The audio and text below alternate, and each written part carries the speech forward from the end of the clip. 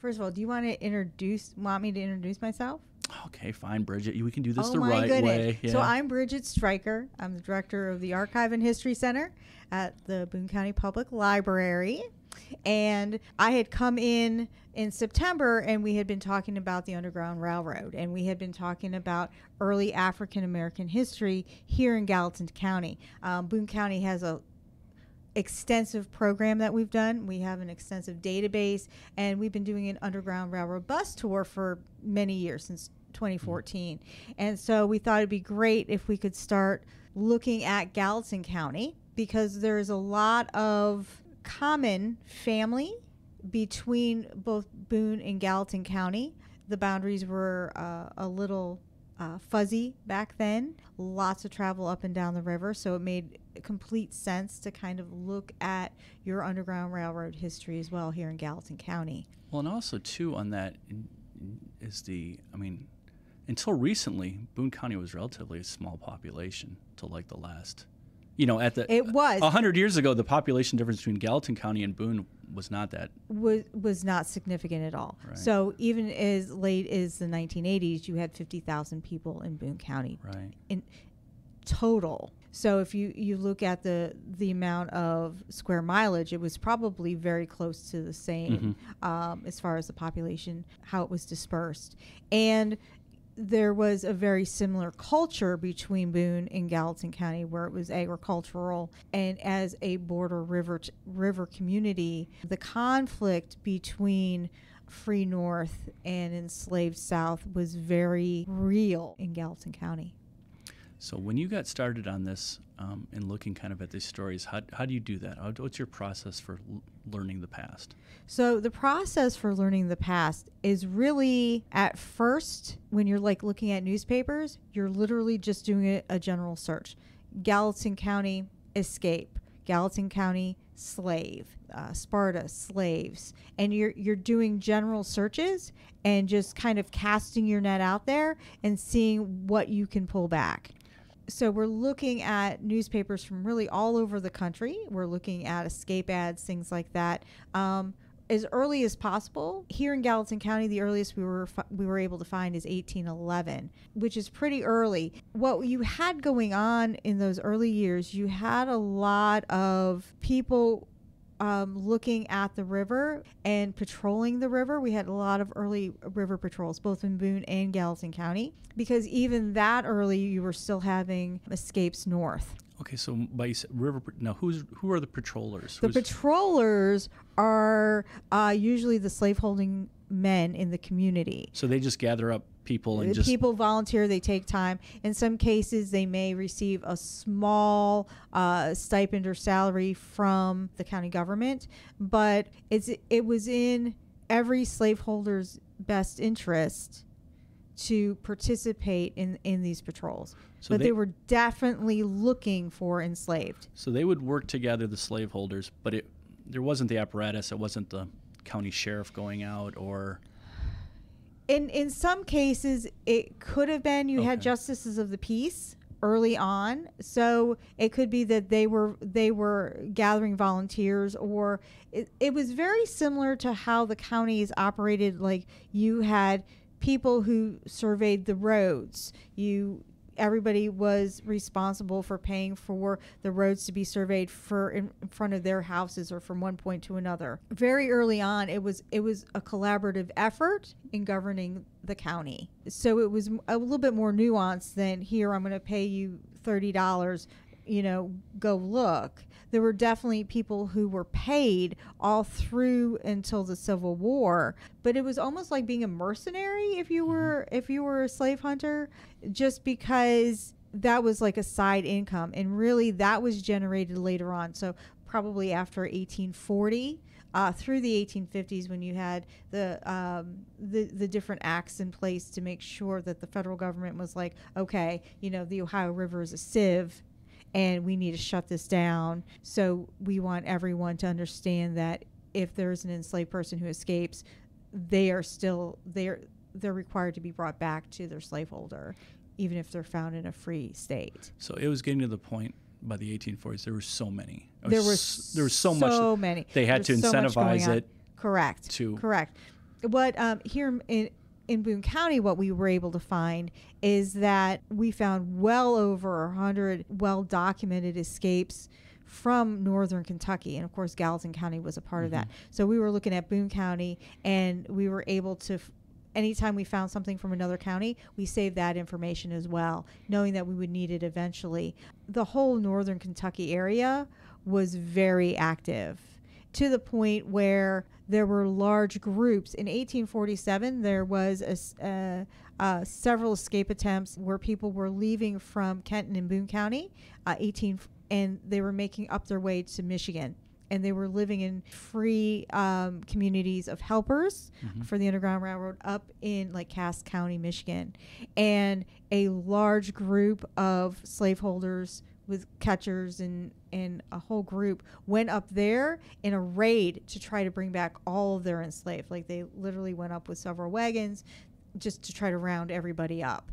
So it, it as time went on, and Gallatin County was a part of that, where there was more and more conflict related to the freedom freedom seeking activities, the escaped of the enslaved. So your research breaks down kind of into two parts as far as Boone and in this case Gallatin County. In that one part it was kind of a migration route or a, a you know absolutely part, part, a route yes. just on its own from yes. other parts of the United States, but then the the the actual slave population that was active in these communities. Exactly. So um, we have a situation where you know you you would read a newspaper article or an account, even you know uh, slave narratives for former enslaved who who talked about their stories later on after the Civil War. They would talk about going through northern Kentucky or going through Boone or going through Gallatin on their way from somewhere else to the north.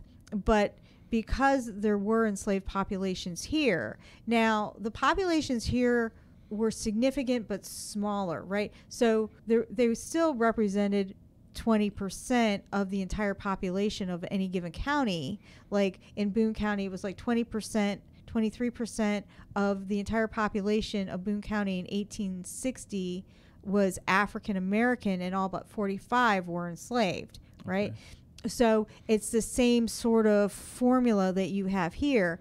Most farms in Gallatin County, like most of northern Kentucky, were smaller. So it's not like you go down south where you have 200 African American enslaved people. No, you have maybe 10 you know a large farm maybe 10 to 15 you'll have a situation where you have a large family and they all own a handful they all, all hold a handful of enslaved but they all come together during certain times of the year a planting harvest when there's slaughter season things like that where then the dispersed smaller groups of enslaved come all together and then work for one particular family project. There are some cases where some non wealthy families have only one or two enslaved. So the population was more dispersed, but it was definitely and it was more of a personal interaction between the enslaved than something that you would have down on uh, a large plantation down it, south. It wasn't far off. You you people everyone kind of knew each other oh, as, both, was, both it ways. Was, it was an it was an intimate relationship. Okay. So and I don't mean a good relationship, right, right. but I mean that you had the slaveholding family and right out the back door was the cabins for the enslaved people. You didn't necessarily have an overseer. You right. know, it was something where the slaveholder may work have worked directly with their enslaved and they may only have like three men who were helping and they may have had a, a whole family with them. And so then the the the, the mother um, and the children may have helped in the household or around the house yard with with with the family's uh, kitchen garden and things like that. So it's just a different concept than of the the, the plantation and South Carolina that would be its own thing unto right, its own, right, right, on right, massive right, acreage, right, and right, stuff where like it was that. an entire community of enslaved people. Right. Here in um, Kentucky, generally the Baptist churches had an enslaved membership, and so that provided an opportunity for dispersed enslaved to kind of come together as a community. But we find that it also offered an opportunity to possibly plan escapes. So um, to coordinate some activities in a way that you um, you wouldn't get if if everyone was more remote, if that makes sense. So when you're doing your research um, on Underground Railroad, how how have you been able to or to f- to figure out the people who were helping? How like looking back and on records and information, how are you all able to look and go, this person was an abolitionist and this is what they were doing? So it's really interesting, and you need to look at your community, and by community I mean the entire county, as one big puzzle. It's a jigsaw puzzle. So you look at the trends. So you can go in the 1850 or 1860 census, and it will list every single slaveholder within the community, and then you compare that to their neighbors. Do their neighbors own enslaved or don't they? So you can you can see clearly in enslaved properties versus uh, properties that may have have abolitionists on so, them. So if you didn't have a, a slave on your census, that that was a kind of a you were almost kind of announcing at that point. you are announcing that for for whatever reason but then in this area there's also universalist churches. Okay. universalist churches were abolitionist churches primarily. And they were kind of sprinkled all along the river. And like if you look at florence indiana right across from you what we would do is we would look to see the structure of who lived where along the river in comparison to who lived on uh, the gallatin county side. You can then see who associates with one another. So maybe you have someone who was living on a property they didn't hold in slaves and their daughter married someone from the universalist church across the river well that's kind of like a red flag Mhm. that that there may be more of an association That that gives you a, a, a cue of where to start looking. Exactly. Absolutely. Yeah. So so yeah, so we look at church memberships, we look at who's marrying who. And if if you plot out individual properties along the river, sometimes you get an idea of okay, this person is suspected as being a helper because you know the slave catcher, the well-known slave catcher, brought, bought the property right next to them. So somebody is going. It's almost like a big chess game, mm-hmm. where okay, I'm on this property and I'm a helper. This is a perfect place, but I've been too suspicious lately. So you know, George Brasher, the the famous uh, slave catcher, he is he brought a property right next to me, and he has someone living there watching me all the time and watching that particular river crossing. What would happen after the, the 1850 Fugitive Slave Act, everyone was compelled to be part of a slave catching group if deputized. So what we saw was some retaliation against some of these abolitionist families by a slave escapes, you know, a, a, an enslaved person escapes across the river or suspected to have escaped. You are thought of as someone who with who may participate in absconding, Mhm. right? So then the slave catcher will deputize you to go and force you to go help try to find this enslaved person. So there was active retaliation against the abolitionists within any given community, which really led to a lot of extra social stress within the community and, and long-standing resentments. You know, I, I in Boone County, we look at some families who don't get along, or all of a sudden there was some serious legal like they were su- lawsuits going on and it sometimes goes back to pre-civil war and related to some of these activities right? Um, uh, the communities have a long memory Mhm. right? If you look at gallatin county it's not large. Even when it was there was still part of, of owen county still connected right? It was a small community. Everybody knew each other's business. You look at any small town everybody knows each other. Everybody knows what's going on with each other. It was the same back then. But if you had an enslaved person who escaped from your property who are you going to look at first? You're going to look at your abolitionist neighbor Right, right. right. okay all right. How did you help? Okay matt bates what's going on with you? You know you all had a story um i believe it was 1851 no 1838 where you had lewis hamilton who was a uh, free person of color also known as free blacks so you had African Americans who were freed who stayed within the community hmm after they were manumitted for lots of different reasons. Sometimes they're older, so you have the families like, okay, you're not you're not really working to the capacity we would like you to, so they'll manumit them. Were they? Was that because they did they have to pay a tax or I mean, They why- did have to pay taxes. They absolutely paid so, taxes. So is there was in their financial benefit? Right. It wasn't. It wasn't like some great kind-hearted soul. They were. You were costing me No. money, so now you're right, on your right, own. right, right. Economically, it was better. Now, and that's also you can go every single year for Gallatin County Mm-hmm. and look at your tax records for every single year, and there will be a column. Well, there's a few columns that talk about all of the enslaved, and then the enslaved over a certain age, like males over the age of 16, and then everybody else. Mm-hmm. So you can tell how many slave people someone has, but you can also see if there was a particular person who had a um, escape, how many escaped. Like, uh, I mean, every once in a while you'll have you'll have deaths, of course, and births, so that changes your numbers a little bit. But if you had a a young male, an adult male enslaved person, then and all of a sudden they're not listed anymore, and there's no, it doesn't look like they were sold, right? And they're listed as, let's say, uh, a certain person, Mr. Ayers, you know, lost an enslaved person. Um, then you can look at all the Ayers and go, oh, yeah, it was Thomas Ayers, Mhm. right?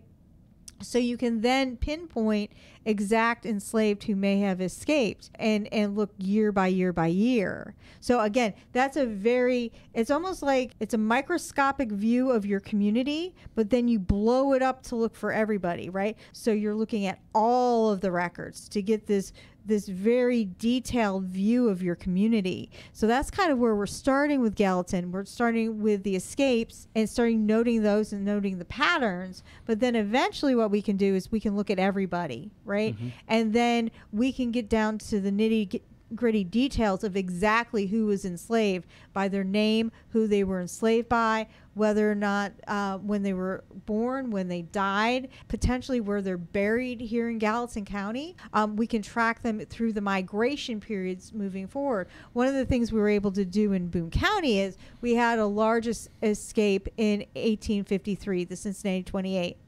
It was a successful attempt and they made it up into Canada.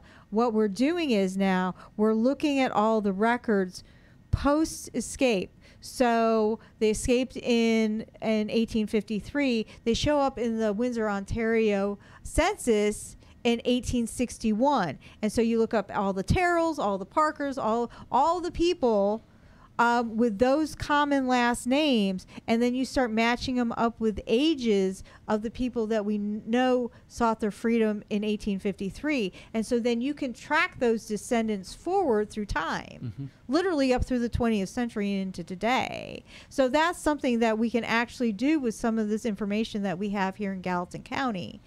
So back to uh, 1838. So Lewis Hamilton. Lewis Hamilton. And so what's what's the story on that? Lewis Hamilton. So he was a free person of color. He, um, I believe, lived outside Sparta, Okay. and he was brought to court at the courthouse and accused of being a helper. Okay. And it's one of those stories where it was very common. So would he have been arrested or He was arrested. Okay, okay. So it wasn't He like, could you please show up at the courthouse? It Yeah, was, no, it wasn't. It wasn't that friendly. Things were things were not friendly. Right, so he was ever. taken- He was he was taken into custody, Mhm. um, and he was basically brought in front of the judge, uh, most likely also in front of a jury. Of course, not of his peers. He had But he very must- few rights. But he was from. Do you do you believe he was from Gallatin County? Like he, was, from probably, Gallatin County. He was probably so well known. He was well known. He was well known. So it's one of those things where, for some reason, and he was fairly young. Mhm. So, but for some reason, he was manumitted. So Okay. in your court record somewhere is a manumission paper from who held him probably last and who who gave his freedom. Okay. So um, he he it's likely that he was still employed either by the family or in in some sort of circumstance near his family. Would they have written down the reason why, or just No. Okay. You have to speculate. Okay, In, in okay. most cases, it's speculation, and it also depends. I mean, this is this is hard to talk about.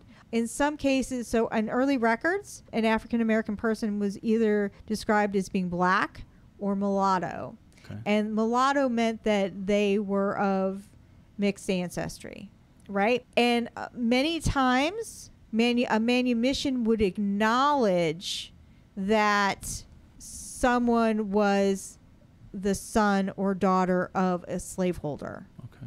Okay, it's a very hard thing to talk about. Mhm. Um, you can see it in the records all the time that that there were there were circumstances where there were families of mixed Mhm. Okay. So likely that could have been the reason that Lewis Hamilton, his last name was Hamilton. Likely he was enslaved by a Hamilton. Um, we could look at will records, wills, and of anyone who anyone around that time period. Now, if he was listed as a free person of color in 1838, that's pretty early. Mhm. So it's pretty easy to look back in, in the court records and see all the Hamiltons. You basically would look at all the Hamiltons Mhm. uh, with wills probably starting about 1830 and seeing that information, see if you can find them. So, so, So- so, at this point where you start picking up the research is he's at the, the courthouse. He's, He's before at a the court. judge. He's at the courthouse. He's before a judge. If they're convicted, most likely they're executed Okay.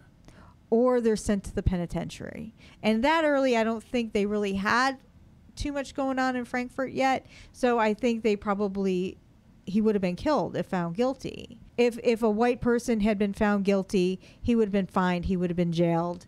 He would have been persecuted, but he would not have necessarily been The stakes weren't as high. executed. Right, Correct. right. It was very risky. Many uh, free people of color were helpers in some way. The reason why he stayed in the community was most likely he had family relate that he was related to. It was possible. It was quite possible his wife was enslaved. Okay. So that that it's rough, right? That, kept him It tied. That's the reason why he and- didn't leave. Right, right, right. And most likely he was trying to work to purchase his family's freedom. Okay. And then they would have left most. I mean, Uh, most likely they would have left. right. it's his story is interesting. We haven't found the court records yet Mhm. to exactly tell what happened. There probably would have been court orders. But what's interesting in 1850, he's still living in Sparta. Okay. So he was not convicted, Hmm. Which is which is super interesting for him. Like he must have had a sponsor in the community, someone to back him up and say, "Listen, this is Lewis." Of course, he wasn't helping Right. and he actually could have been but he had he had someone uh, most likely of wealth and prestige within the community who was able to go to, to literally vouch for him So he's a very unique case for a number of reasons. he's a very unique case we had a case up in in boone county where someone was accused and openly and they had to leave now they don't they don't go very far usually what you'll see happen is if a person is manumitted they will and they want to stay close to their family they move right across the river so they may have gone to florence indiana Mhm. or Vevay or somewhere close by Mhm. so they could still communicate with the with the, their family which happened all the time but the fact that he didn't do those things. he stayed. He dug in, and so uh, so as we further look at his story, we want to see who his neighbors were, see if if if he purchased property, if he was sponsored by someone. Someone had to go with him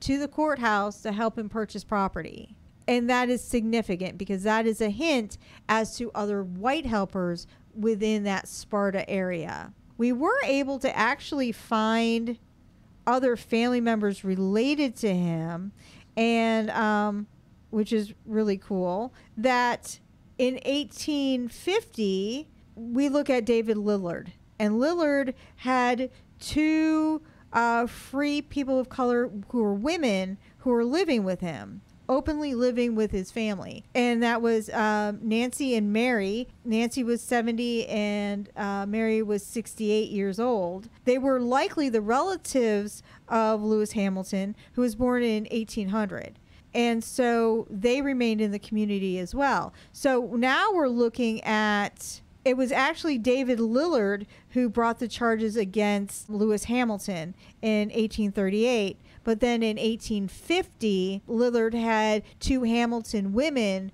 who were likely related to Lewis living in his household as free people of color. It's very complicated. Yeah. Very complicated. It says here the charges were apparently not sustained because Lewis Hamilton was later listed in Gallatin County as a listed as a free black, living as a blacksmith living near Sparta, Kentucky, with $400 worth of property and a family of seven. So his entire family by then. So if you're manumitted and your wife is manumitted, then your children are born free. So there's a whole story related to that family and related to Sparta that's super interesting. And how does how does David Lillard relate to that? You know, so it gets into the whole complexity of the relationship between the whites and the blacks within Gallatin County right? There's a whole story behind there. Was there a Baptist church in Sparta? Okay. Does the ba- Baptist church have, if you look at the minute records, if you can find them, for that Baptist church, was Hamilton and the Hamilton family members listed? Was Lillard listed? How did all that come together? More than likely, what happened was this is what I think happened. I think Lewis Hamilton was probably related to the young man who escaped from David Lillard in 1838. It could possibly even been his son, okay, or his brother. The young man escaped, but there was no proof. I, I mean, David Lillard may have been this is this was your son, this was your brother. Of course, you helped him, but someone in the community went, David. Mm-hmm. There's literally no evidence that Lewis helped this other young man escape. You have no proof. And, you know, he's he was a he's literally been working within the community. He's, the town blacksmith. Why are you He's- trying to get rid of our town right, blacksmith? Right, right, right, Yeah. right. What are you, what are you doing to us? Right. Yeah. We won't be able to find another one, Right. right? So, so in eh, so that is why that case is so interesting because it really reflects the complexity of the relationships within this community. So, to give some historical kind of concept, I mean, in 1850, is is owning $400 worth of anything is that a sign of success? Is that it is. okay? So he's he he seems like just from what you've been able to find, he's small business owner. He's He's, a small business owner. he's- he's got his- right? he's doing his thing and in he's doing well. Sparta, yeah, and in Sparta, they need a blacksmith. Everybody needs blacksmith. and and apparently, and this is where assumptions are made, Right. is that he was valued by the community. Someone He was, pro- was someone was valued by the protecting him. I don't mean that as in no, a but, it- but it's true mean- because if if he wasn't valued, they wouldn't be giving him the business. right. right? He wouldn't have his forge and he wouldn't have his equipment. All of that he had to earn. So, is, generically, is that atypical for someone to be It is atypical. okay? It is atypical. Because he, he had a trade. he had a trade. He was he was likely when he was when he was enslaved he was apprenti- he was apprenticed. Okay. Again, most likely within the the Lillard family, but I mean we need to look at how Lillard is related to these folks. But but yeah, so some African Americans were apprenticed in certain ways to have a trade. Likely someone within the community, he was given to someone else in the community or maybe someone in the Hamilton family also had a trade. Maybe his father when they came from Virginia, maybe his father was also a blacksmith and enslaved. So there was a lot of other things going on. Mm-hmm. It also though the fact that they valued because he would have had to learn this trade while enslaved he was valued within the family a little bit different which again may look back at his relationship his familial biological relationship to some of those other family members And so, all of this kind of starts off one small thing in a newspaper or a, or, or was this covered more? I mean, was Um, this, this was this I found this in the Encyclopedia of Northern Kentucky, Mm-hmm. but it was yes, it was likely a newspaper article. Absolutely, some of this, and it may have been the newspaper articles maybe that long, Mhm. but then you kind of take those little nuggets and then find more information off of that. and because through your research, you start picking trends like, oh, this is atypical. This Right, is right. this isn't normal. Exactly. And then and then and I I maybe through Boone. So then there are more there's communities that are um, more abolitionist, There are. and they grow and feed kind of off of off they of do that. because you know you want to be in a community where you're safe. Right. right? And and like attracts like. So that's so that's what we do. So you know i think as we move forward in gallatin county you know we're going to start looking at some of those folks that were involved in some of the churches that had more abolitionist leaning like here in warsaw. You have some ministers that actually reverend alexander sebastian you had a Waller Pingree debate, Baptist versus Universalist Church in 1850. So you had congregations in this area that supported abolitionist ministers.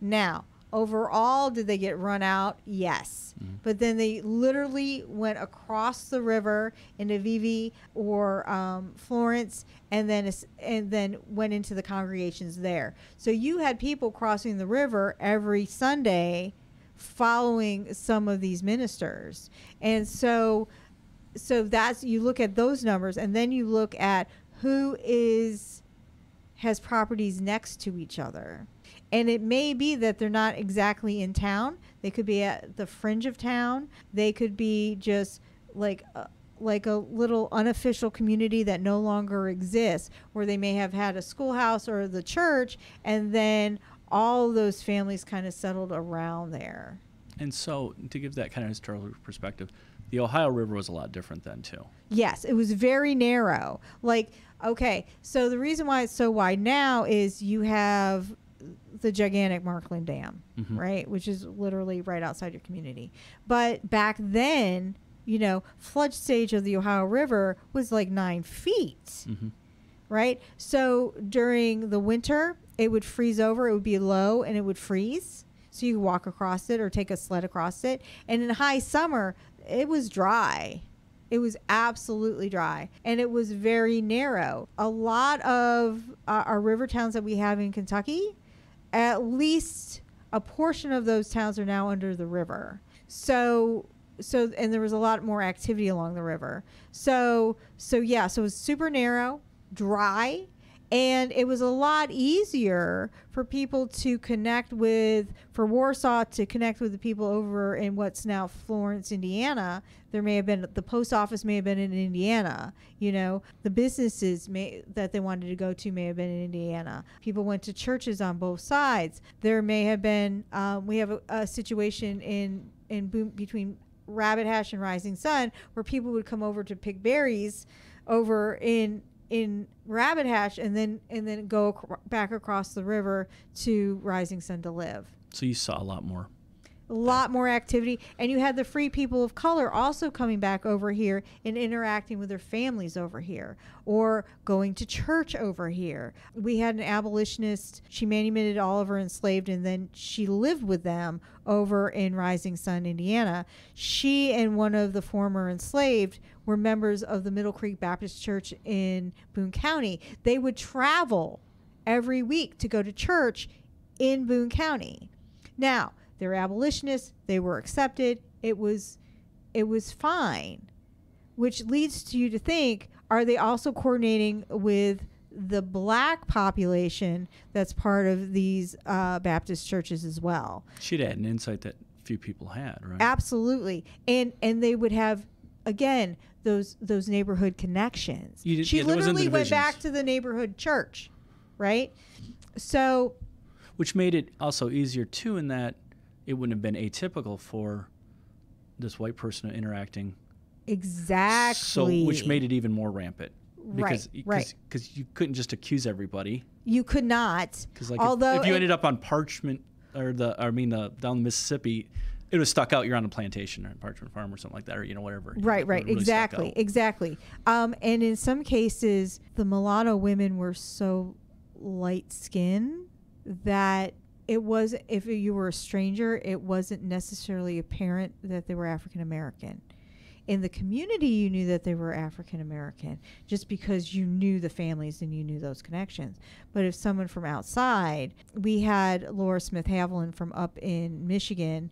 She was an activist on the Underground Railroad, but she was absolutely a white woman and she posed as a free person of color from Rising Sun, a cousin of some sort, who came over and infiltrated a slaveholding farm to try to extract Mhm. an African American enslaved woman and her family. So these were very light complected people. So and and so there are a lot of connections amongst these families that are not readily apparent. so is that what makes studying the borderlands so interesting? It is. All right. It's fantastic. Because it's, a very murky history. It is a very. It is. It's this mystery, right? And so, and but if you keep pulling these little strings, right, it all unravels, and you're like, oh, that's what's going on. Right. But you have to be able to look at individual people to do that. So it takes a lot more research. It is. It's very research heavy. The more research you do, the better, more practice you get, um, the easier it becomes.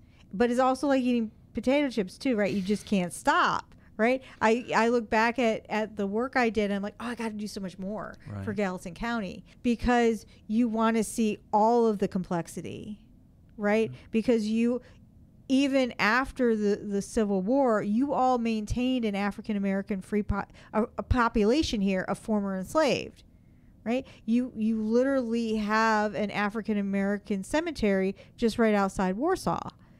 You know, you have people living in town, so you have all these con- connections. So what does it mean to have all those connections? How did everybody relate to one another? Why were some families tolerated and other families told to get out right away?